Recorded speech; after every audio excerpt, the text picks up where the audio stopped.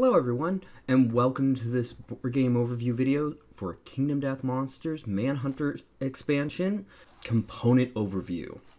So, to start off with, we've got the instruction manual slash rulebook, which, as I've said with any of all the other ones, as you can see by the glare, doesn't take too well to fingerprints. Doesn't seem to be damaging it, but there are definitely signs of the oils left on there. And then for the sprues, we've got one sprue. This is actually, I think, the model or the expansion with the least amount of plastic out of it. That includes compared to the Green Knight set.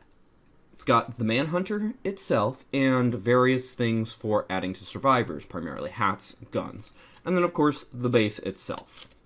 But with that said, let's get to the close up to the cards and such. Next up, we've got the dividers for the expansion, for the Manhunter itself, and for its gear. Speaking of said gear, there is five pieces of gear.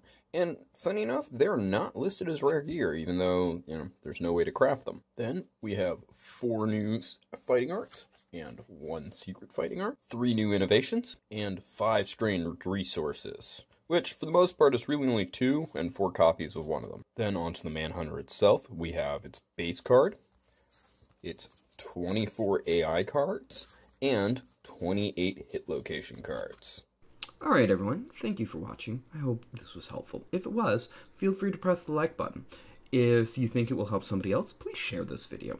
If you didn't find this helpful, go ahead and press the dislike button. I won't mind, but please leave a constructive comment as to why it wasn't helpful. Also, feel free to comment in general, and if you want to see more like this, be it more board game overview videos, my unboxing videos, my painting videos, or anything else I might do on this channel, feel free to subscribe. Regardless, thank you for watching and have a wonderful day. Bye.